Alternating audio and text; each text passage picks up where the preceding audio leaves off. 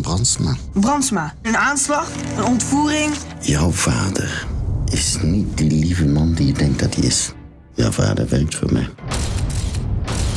Dus hij is crimineel. En wie waren die mannen? Bekende. Ik ga hem even langs. Jongens, jullie mogen hier echt nooit met iemand over praten. Zweer het. Ik wil het weten.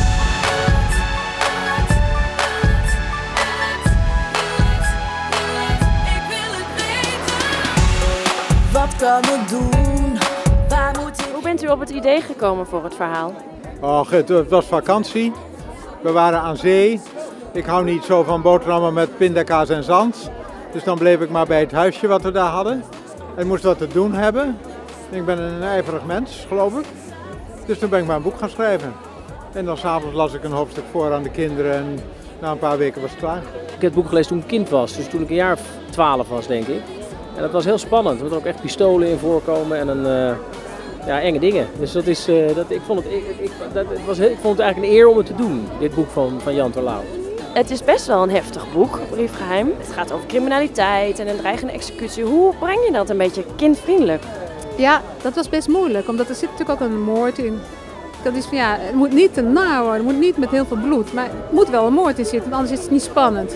Dus ik heb een soort abstrahering aangebracht in de slow-mo's en in een soort stijl, dat het wel echt gebeurt, maar niet dat, je, dat het kind s s'nachts wakker schrikt van de nare, bloederige beelden, laat ik zo zeggen. Maar ik, heb wel, ik ben wel erg gaan, gaan kijken, ook bij die testscreening bleek dat die kinderen echt heel veel kunnen hebben. En kinderen willen toch ook spanning, dus ik ben niet heel tuttig gaan filmen. Nou, soms dan moest je iets, iets engs spelen of zo, of iets heel verdrietigs. En dan ging je ook gewoon aan hele erge dingen denken. En die zouden kunnen gebeuren of zo. Spelen met kinderen is ontzettend leuk, omdat eh, acteren natuurlijk reageren is. En eh, kinderen reageren heel direct en heel natuurlijk.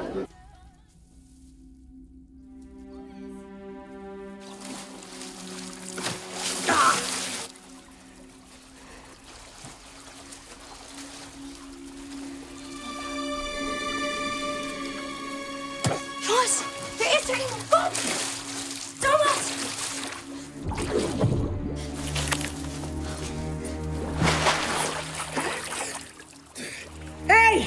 Wat gaan jullie doen?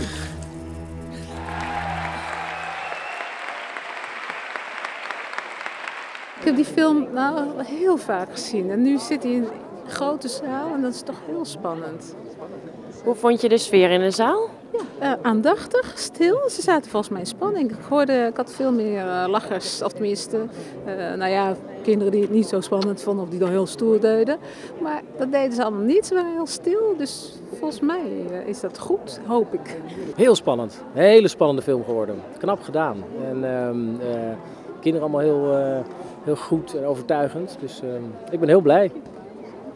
En hoe is het als je dan naar jezelf kijkt? Ben je dan ook tevreden? Nou, het is altijd wat ingewikkeld naar jezelf kijken. Maar ehm, eh, daarvoor moet ik hem nog een keer zien. eh, of niet. Maar het gaat me ook altijd om, het, eh, om de film zelf. Want het is ontzettend goed gelukt. Ik vond het mooi gedaan. En ik, ik vind het ontroerend om te zien dat zulke jonge kinderen al zo kunnen spelen. En toch ook zo doen dat je aan het eind van de film, dan hou je van ze. Hè?